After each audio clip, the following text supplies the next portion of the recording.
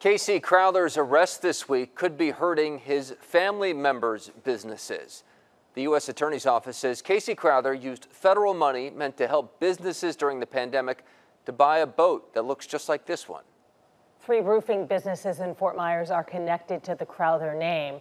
They are related, but not their businesses. Casey is the owner of Target Roofing and Sheet Metal. He got $2 million from taxpayers in the Paycheck Protection Program. Casey's father, David, owned CFS Roofing. He also received PPP money. Casey's uncle Lee Crowther owns Crowther Roofing. Lee tells NBC2's Michael Raimondi his business has nothing to do with Casey or taking taxpayer money. 725 employees work at this facility here in Fort Myers, but the owners of Crowther Roofing are frustrated, saying that people are calling wondering if they're going to shut down. There's some negative ramifications that happens to this company. Lee Crowther wants people to know that Casey Crowther has nothing to do with his business. Somebody else had a misgiving, a misdeed, and that thing will play out in court.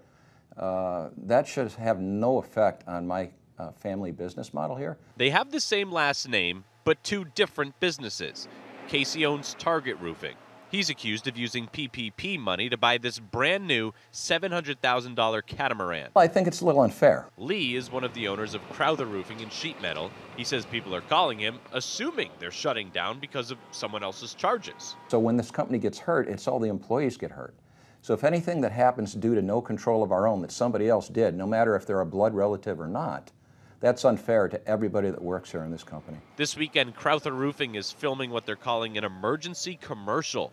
They want to let people know they are not associated with Casey. They hope to have it running next week. Anything that negatively affects our reputation is something we really need to get ahead of. We've got a feeling we're going to have to continue to pound on this for the coming weeks and coming months. Casey's father, David, owns CFS Roofing. He told me today that he will support his son through the legal process. He did not want to interview on camera. Casey is expected back in court later this month. Reporting in Fort Myers, Michael Raimondi, NBC2.